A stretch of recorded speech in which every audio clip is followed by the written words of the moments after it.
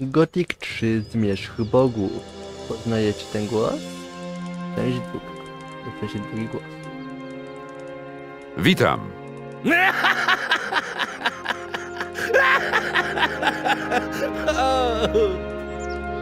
O co chodzi, magu? Jestem geniuszem! Jestem wspaniały! O to chodzi! Zapytaj mnie, dlaczego tak jest! Dlaczego?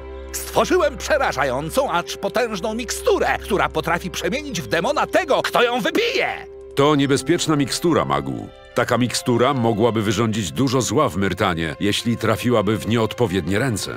Głupcze! To samo można powiedzieć o każdej miksturze, każdym artefakcie i każdym przedmiocie, który posiada jakąkolwiek moc.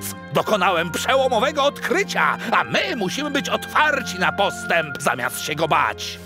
Niemniej jednak, Aj, dość już tego gadania. Słuchaj, wydaje mi się, że tylko dwie osoby nadają się do tego, by otrzymać tę miksturę. Co to za ludzie? Gorn i Torus. Idź i zapytaj ich, czy chcieliby kupić tę miksturę. Sprzedam ją temu, kto da najwięcej. Dobrze, pójdę już. Poznajecie ten głos? Dziękuję za oglądanie. Subskrybujcie mój kanał. Napiszcie w komentarzach, jaki to był.